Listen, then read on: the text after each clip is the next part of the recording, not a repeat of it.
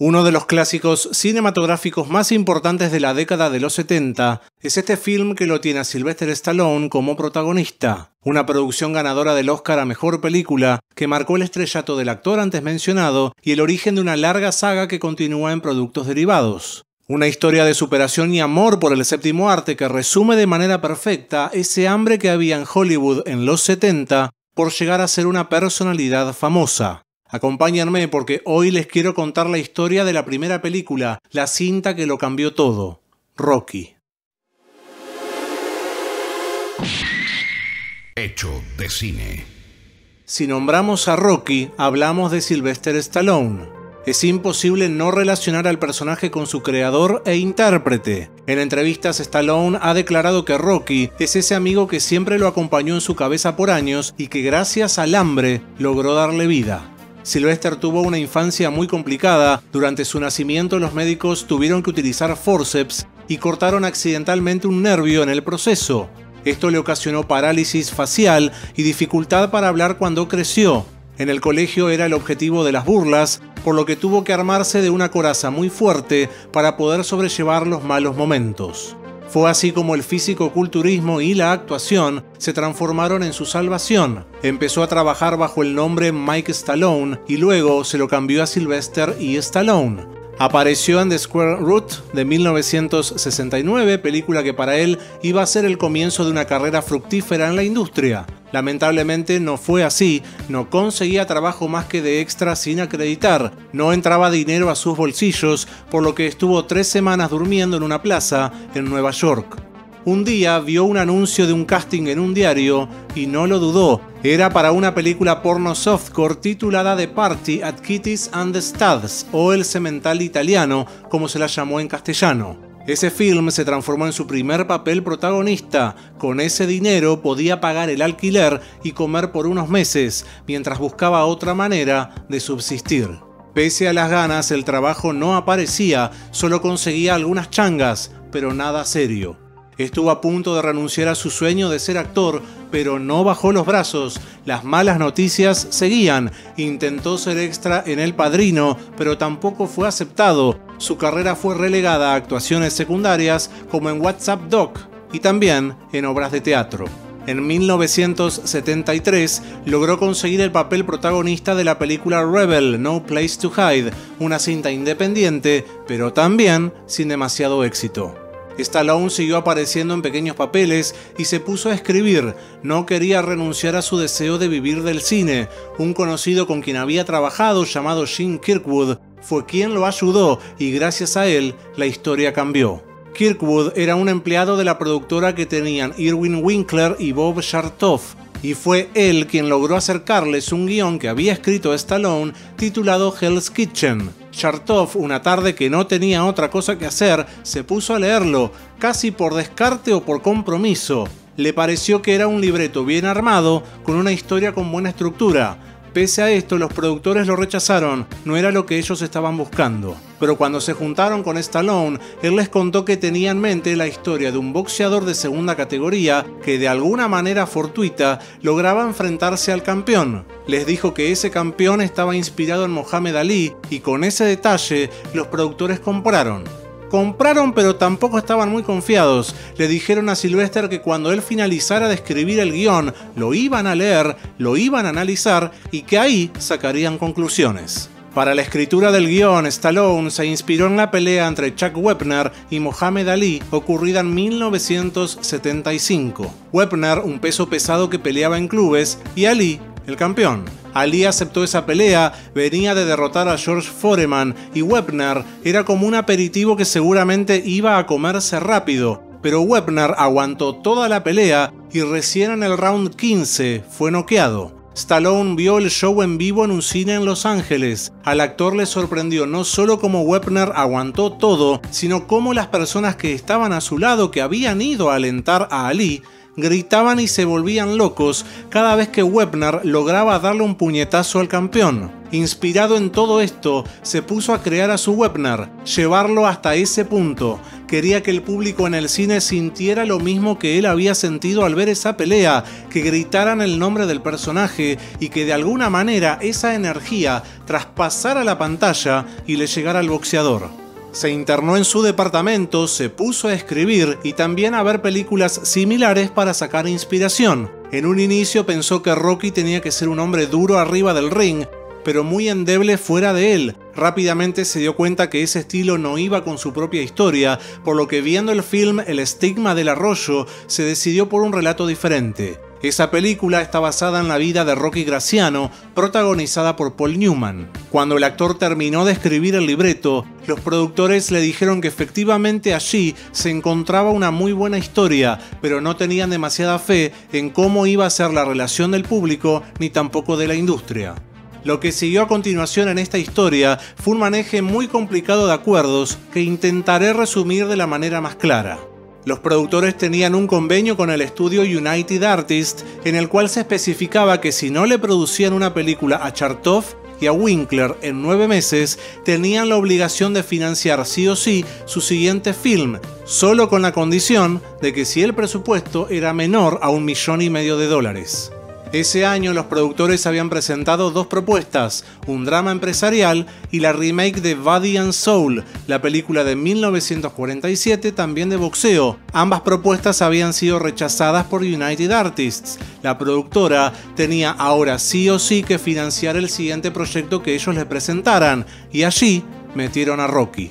United Artists respondió buscando una interpretación subjetiva del acuerdo para desentenderse y rechazar la producción de la película de Stallone. El estudio aceptaría solo si ponían a un actor de renombre como protagonista, cosa que Sylvester no quería. Él tenía que ser Rocky, era la única condición que el actor había puesto.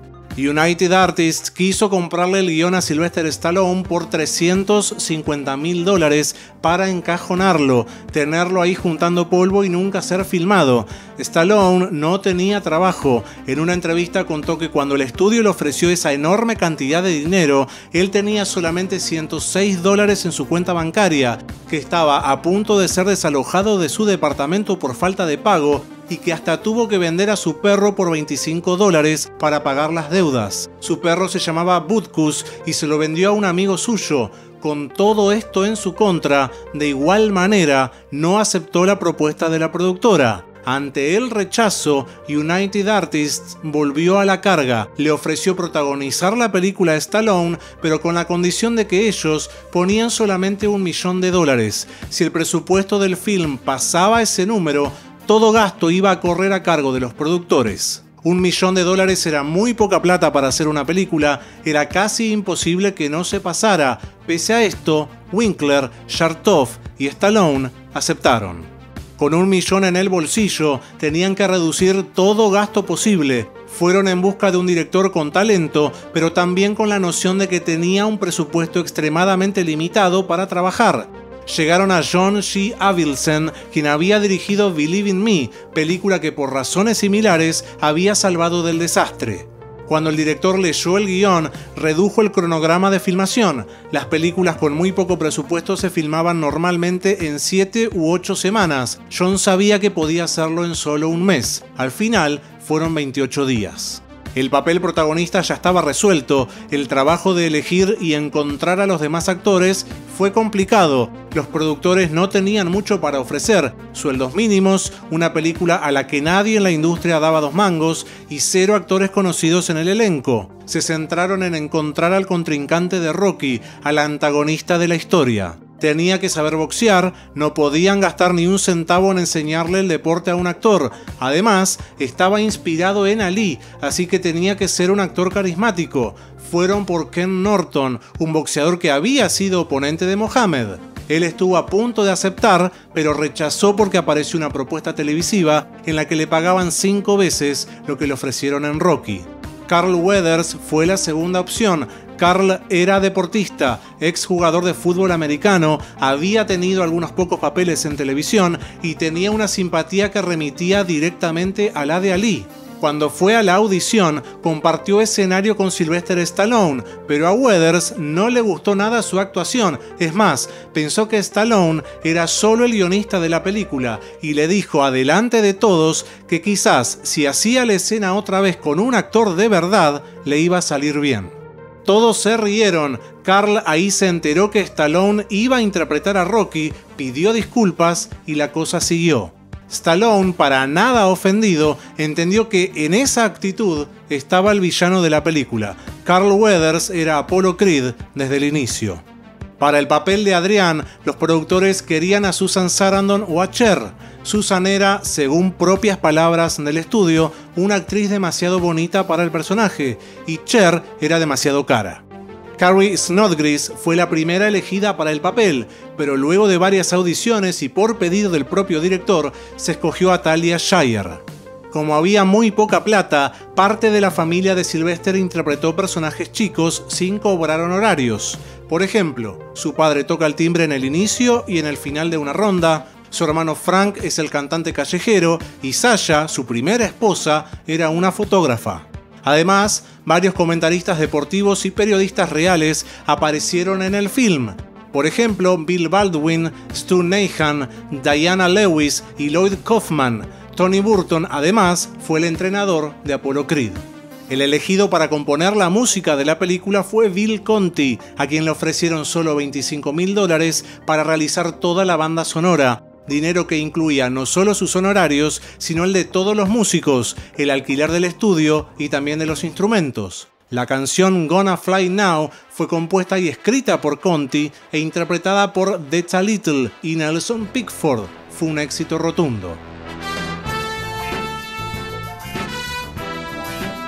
La película empezó a filmarse el 9 de enero de 1976 en Filadelfia, con algunas escenas rodadas en Los Ángeles. La secuencia de la subida por las escalinatas, uno de los momentos más importantes de la película e ícono de la saga, se realizó en las escaleras del Museo de Arte de Filadelfia, hoy conocidas como los Rocky Steps. Esta secuencia, además, fue la tercera en la historia del cine en ser filmada con la Steadicam creada por Garrett Brown, luego de Bound for Glory y Marathon Man, ambas estrenadas en 1976. El propio Brown fue el camarógrafo de esa impresionante secuencia. Otro de los grandes ejemplos de cómo se redujo el presupuesto fue en la creación del momento de la pista de patinaje. No se podía pagar una enorme cantidad de extras, pensaron en realizarla en un cine, en un parque, en un estadio, pero todo traía problemas. El ruido era insoportable o la iluminación no ayudaba. Stallone decidió reescribir la escena y ambientarla de noche para que Adriana y Rocky pudiesen tener una de sus citas en total intimidad. En cierto momento de la producción, el director le recomendó a Stallone la incorporación de una mascota como compañera de Rocky. Allí se le ocurrió pedirle a su amigo prestado a su perro para que apareciera en la película, con la promesa de que si el film era exitoso, se lo volvía a comprar. Eso sucedió porque Stallone le dio 15 mil dólares a su amigo a cambio de su perro una vez que el éxito de la película se consolidó. Toda la secuencia final, los últimos 25 minutos, es una lección sobre el uso del tiempo, el suspenso y el montaje. Ni Stallone ni el director tenían idea de cómo iban a filmar ese final, pero todos sabían que esos 15 rounds eran lo que le iba a dar significado a su película. Si eso no se hacía bien, el film se iba a caer, la gente iba a salir decepcionada del cine y no la iban a recomendar. Stallone se puso a pensar qué hacer. Una noche agarró un grabador y en su casa se puso a relatar los 15 rounds. Cuando desgrabó todo, se reunió con el jefe de dobles de riesgo y se pusieron a escuchar. Él se negó a participar, le parecía que todo era demasiado riesgoso e iba a quedar muy falso en escena. Stallone se contactó con otra empresa de dobles, pero todas se negaron.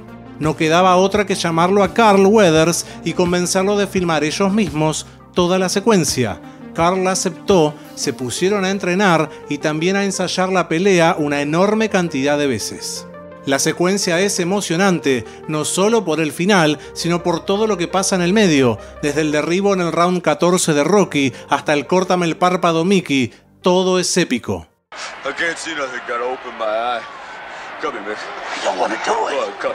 una secuencia que reescribió al género e influyó a todo lo que vino después en materia deportiva en cine.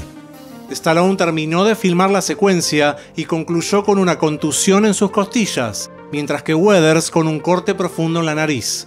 Como les contaba antes, la película terminó de filmarse en solo 28 días. El presupuesto terminó siendo de 880 mil dólares. Habían cumplido con lo pautado con United Artists y ninguno de los productores, ni el propio Stallone, tuvieron que poner dinero de sus bolsillos para terminarla. Hasta que pasó lo peor. Las primeras funciones para los ejecutivos de United Artists no fueron alentadoras, no les había gustado nada. Es más, le dijeron a Stallone dos cosas. Primero que posiblemente le iban a estrenar directo en televisión y segundo que el final era malísimo. En la conclusión original, luego del abrazo entre Rocky y Adrián, aparecían los créditos finales con fotografías en blanco y negro en las que veíamos cómo la pareja se iba caminando, terminando de espaldas al público. Stallone propuso cambiar algunas cosas de la película y además refilmar parte de la conclusión, hacer más emocionante el momento en el que los dos se encontraban arriba del ring para también eliminar las fotografías de los créditos. United Artists aceptó, pero ellos no iban a poner un centavo más. Los productores hipotecaron una casa para poder volver a contratar a los actores, a los técnicos y a los diseñadores de vestuario y maquillaje el final se reescribió. Ahora Adriana atraviesa al público enardecido de manera más intensa, mientras Rocky la llama desde el ring.